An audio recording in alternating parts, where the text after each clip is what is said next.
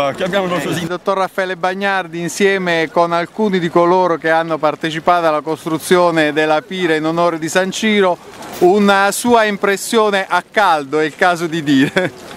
Eh, l'impressione non può che essere che San Ciro fa parte della nostra vita perché noi siamo nati con San Ciro. Non, io mh, tutti gli anni della mia vita immancabilmente al 31 gennaio ho trovato San Ciro, ho trovato la Pira, in luoghi diversi, no? in, in età diverse, ma lo spirito non è cambiato, non è cambiato questo spirito di grande tradizione che eh, insieme a persone come loro no? si, mantiene, si mantiene vivo, ma non è neanche cambiato lo spirito di devozione nei confronti, nei confronti del santo. E tutti gli anni è un abbraccio che la città sta dando, ma non dimentichiamo che il primo abbraccio che è stato dato a San Ciro lo ha dato un nostro compaesano